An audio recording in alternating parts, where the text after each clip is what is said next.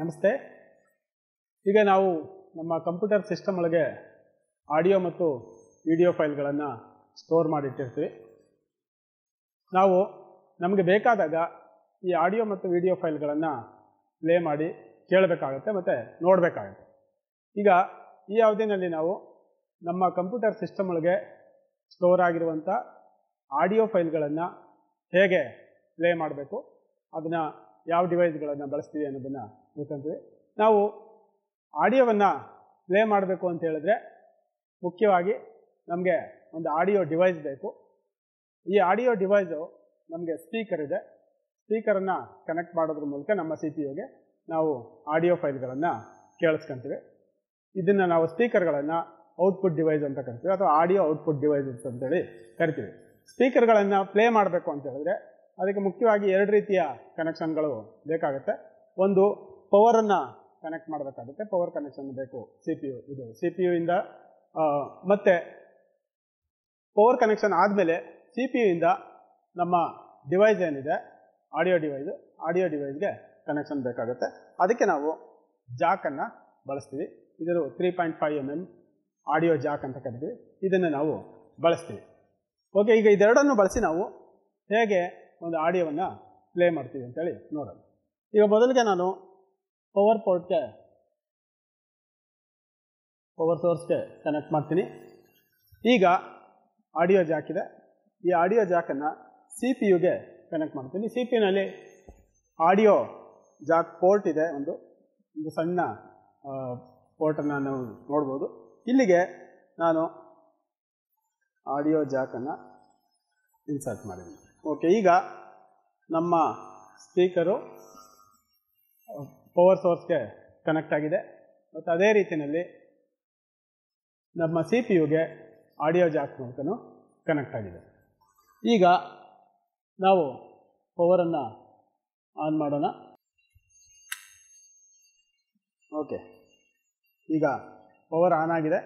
ಅದನ್ನು L E D ಇಂಡಿಕೇಟರಲ್ಲಿ ನಾವು ನೋಡ್ಬೋದು. ಪವರ್ ಆನ್ ಆಗಿದೆ. ಮತ್ತು ಸ್ಪೀಕರು ಸಿ ಪಿ ಯು ಎರಡೂ ಕೂಡ ಕನೆಕ್ಟ್ ಆಗಿದೆ. ಈಗ ಇವೆರಡನ್ನು ಬಳಸಿ ನಾವೀಗ ಆಡಿಯೋ ಫೈಲನ್ನ ಪ್ಲೇ ಮಾಡ್ಬೋದಾ ಅಂತೇಳಿ ಚೆಕ್ ಮಾಡೋಣ. ಓಕೆ ನನ್ನ ಆಡಿಯೋ ಫೈಲ್ ಪೆನ್ ಡ್ರೈವ್ ಒಳಗಿದೆ. ನಾನೀಗ ಪೆನ್ ಡ್ರೈವನ್ನು ಇನ್ಸರ್ಟ್ ಮಾಡ್ತೀನಿ. ಇನ್ಸರ್ಟ್ ಮಾಡಿದ್ದೀನಿ ಪೆನ್ ಡ್ರೈವ್ ಓಕೆ ಪೆನ್ ಡ್ರೈವನ್ನು ರೆಕಮೆಂಡ್ ಮಾಡಿದೆ. ಪೆನ್ ಡ್ರೈವ್ ಓಪನ್ ಮಾಡ್ತೀನಿ. ಓಕೆ ಪೆನ್ ಡ್ರೈವ್ ಒಳಗೆ ಒಂದು ಆಡಿಯೋ ಐಕಾನ್ ಇದೆ. ಇಲ್ಲಿ ನನ್ನ ಆಡಿಯೋ ಫೈಲು ಇದೆ. ಈಗ ಇದನ್ನು ಪ್ಲೇ ಮಾಡ್ತೀನಿ. ವಿ ಎಲ್ ಸಿ ಪ್ಲೇಯರ್ ಒಂದು ಸಾಫ್ಟ್ವೇರು ಅದನ್ನು ಸೇರಿ ನಾನು ಪ್ಲೇ ಮಾಡಿದ್ದೀನಿ. ಓಕೆ ಈಗ ನಮ್ಮ ಆಡಿಯೋ ಪ್ಲೇ ಆಗ್ತಿದೆ.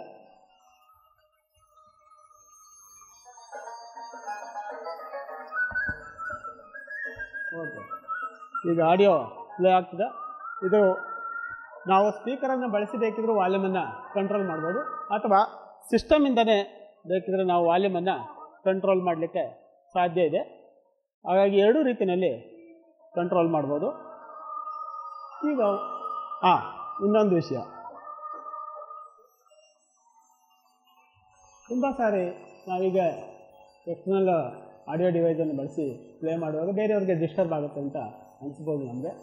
ಅಂಥ ಸಂದರ್ಭದಲ್ಲಿ ನಾವೇನು ಮಾಡಬೇಕು ಅಂತ ಹೇಳಿದ್ರೆ ಬೇರೆಯವ್ರಿಗೆ ಡಿಸ್ಟರ್ಬ್ ಆಗಬಾರ್ದು. ಆದರೆ ನಾವು ಮಾತ್ರ ಆಡಿಯೋವನ್ನು ಕೇಳಲಿಕ್ಕೆ ಸಾಧ್ಯ ಆಗಬೇಕು ಆ ರೀತಿ ಹೇಗೆ ಮಾಡೋದು ಅದಕ್ಕೆ ನಾವು ಹೆಡ್ಫೋನ್ ಅಥವಾ ಇಯರ್ಫೋನ್ಗಳನ್ನು ಬಳಸ್ತೀವಿ. ನಾನಿಲ್ಲಿ ಇಯರ್ಫೋನನ್ನು ಬಳಸಿದ್ದೀನಿ. ಓಕೆ ಇಯರ್ಫೋನನ್ನು ಬಳಸಿ ನಾನು ಇದೇ ಆಡಿಯೋ ಫೈಲನ್ನು ಕೇಳ್ತೀನಿ. ಅದಕ್ಕೆ ಸಾಮಾನ್ಯವಾಗಿ ಸಿ ಪಿ ಯುಗಳ ಮುಂಭಾಗದಲ್ಲಿ ಒಂದು ಪೋರ್ಟ್ ಇರುತ್ತೆ, ಆಡಿಯೋ. ಪೋರ್ಟು ಅದಕ್ಕೆ ನಾನು ನನ್ನ ಇಯರ್ಫೋನ್ ಜಾಕನ್ನು ಇನ್ಸರ್ಟ್ ಮಾಡ್ತೀನಿ. ಈಗ ಬರ್ತಿದೆ. ಕೇಳಿಸ್ತಿದೆ ನನಗೆ ಈಗ. ಹೀಗೆ ನಾವು ಆಡಿಯೋ ಫೈಲ್ಗಳನ್ನು ಸ್ಪೀಕರ್ಗಳನ್ನು ಬಳಸಿ ಮತ್ತು ಹೆಡ್ಫೋನ್ಗಳನ್ನು ಅಥವಾ ಇಯರ್ಫೋನ್ಗಳನ್ನು ಬಳಸಿ ಪ್ಲೇ ಮಾಡಲಿಕ್ಕೆ ಸಾಧ್ಯ ಇದೆ.